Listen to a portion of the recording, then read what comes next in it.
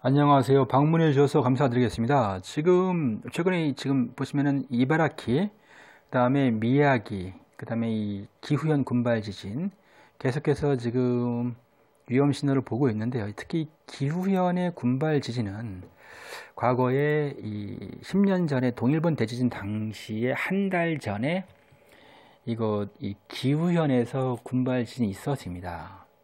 따라서 우리가 이 그 지금 기후현의 군발일 지진이 또 나고 있기 때문에 물론 작년에도 4월에서 7월 사이에 지진이 있었습니다. 그래서 앞으로도 3개월 정도 조심하셔야 되고요.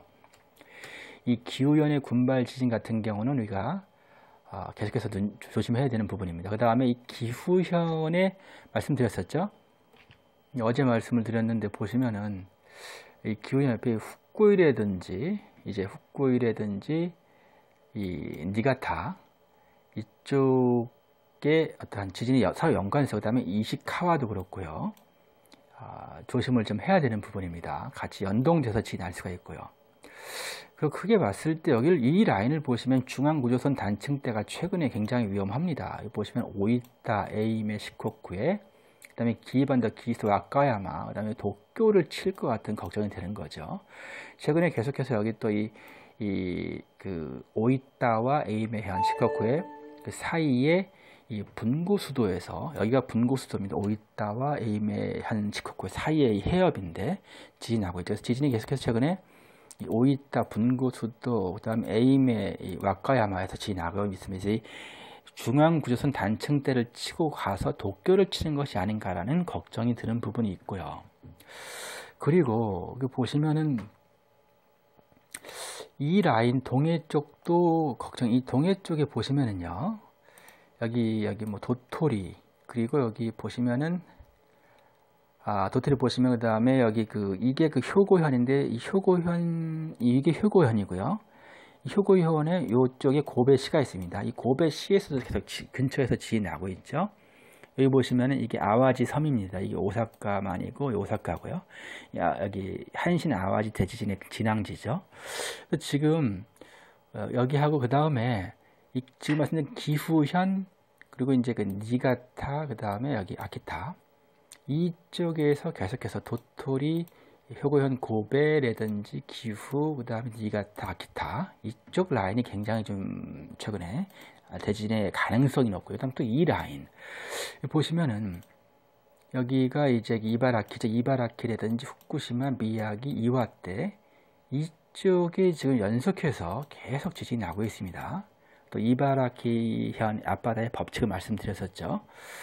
굉장히 좀 위험 신호를 지금 계속 보이고 있습니다. 아 그리고 그리고 지금 보시면은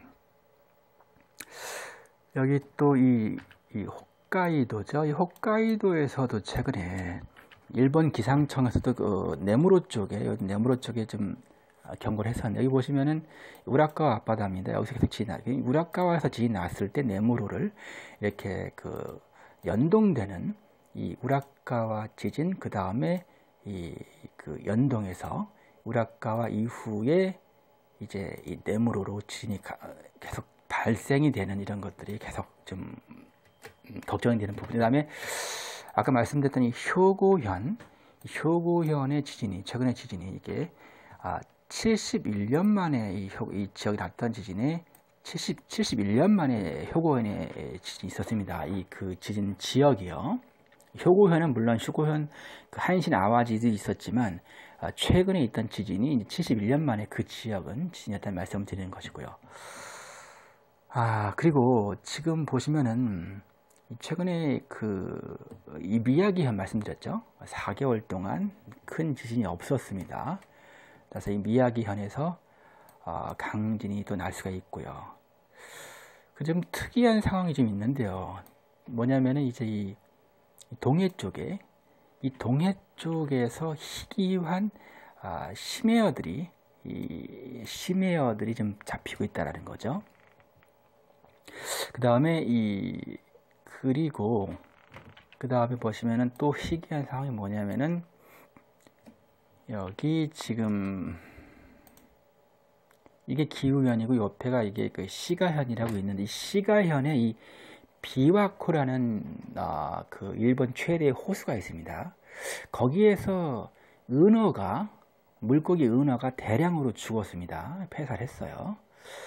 그 다음에 또 이 홋카이도 이 홋카이도에서도 말씀을 드렸죠 여기는 이 홋카이도에서도 연어가 떼죽음을 떼죽음을 당하는 현상. 그 다음에 또 홋카이도의 적조 현상도 나타나고요. 이 동물들은 자연의 변화에 굉장히 민감하게 반응을 합니다. 그래서 우리가 이 특히 이 태풍 전후로 해서 좀 많이 조심을 해야 되는 부분이고요. 그 다음에 이 오가사와라 제도 여기는 항상 제가 자주 말씀을 드리는 곳이죠. 아, 마리아나 북 마리아나 괌 오가사와라 이오지만 다 말씀드리죠. 이즈 제도하고 이, 이 라인에서 이 라인에서 어, 지금 계속해서 지금 화산의 폭발과 그 다음에 강진들이 특히 그 신발 지진 깊이 500km에서 뭐 400km 정도 지나고 있습니다. 지금 이 오가사와라 제도에서 100년 만에 해저 화산이 대규모로 분할을 했고요. 어, 굉장히 좀 안 좋은 시그널들을 계속 어, 보이고 있고, 그 다음에 이 큐슈 쪽에 이 큐슈 쪽에 이 가고시마 쪽하고 이쪽 큐슈 쪽에 슈가나라라든지 이 큐슈 쪽에 계속해서 최근에 무감 지진들이 많이 발생을 하고 있습니다.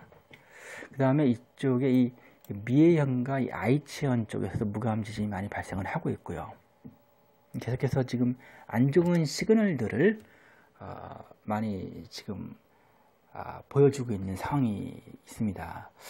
최근에 계속해가지고 그 뭐 남미 쪽이죠. 남미 쪽하고 중미 쪽, 그 다음에 미국 쪽도 계속해서 지금 서해안 쪽에서 어, 그 캐스케디아 지금 저기 캐스케디아 지금 삽입대 서해안 쪽에 미국은 샌 안드레아스 단층대에서 계속해 가지고 1800번의 이 아, 미소 지진이 발생을 최근에 했습니다. 1800번이요. 아, 굉장히 안 좋은 시그널이고요. 스페인의 그 라팔마 하산도 이 10일 동안 6600번의 지진 이후에 아, 그 폭발, 화산이 폭발했듯이 계속해서 지금 안 좋은 시그널들을 어, 보이고 있습니다. 아, 계속해서 지금 미국은 또 옐로스톤의 쪽에 안 좋은 얘기들이 많이 폭발 징후가 있다라는 얘기들, 지진파들이 좀 안 좋다라는 얘기들 자꾸 나오고 있습니다.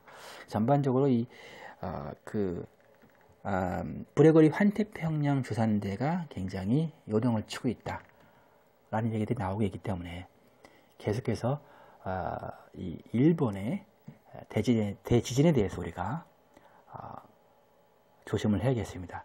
시청해 주셔서 감사드리겠습니다. 구독과 좋아요, 알람 설정을 꼭 부탁드리겠습니다. 이 채널 운영하는데 큰 힘이 됩니다. 감사드립니다.